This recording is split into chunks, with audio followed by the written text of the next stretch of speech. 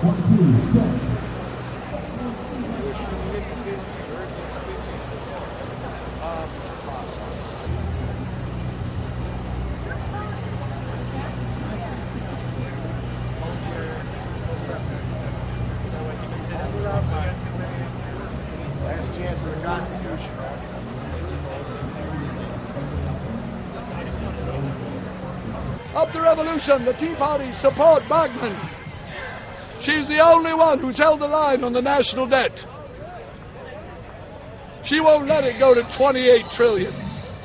Up the revolution, down with kings.